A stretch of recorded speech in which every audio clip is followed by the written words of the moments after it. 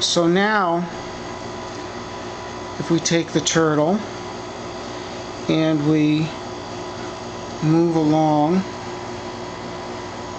the triangle, we can see that each time we turn, how clear this is, that we're turning one third of a circle. Oops.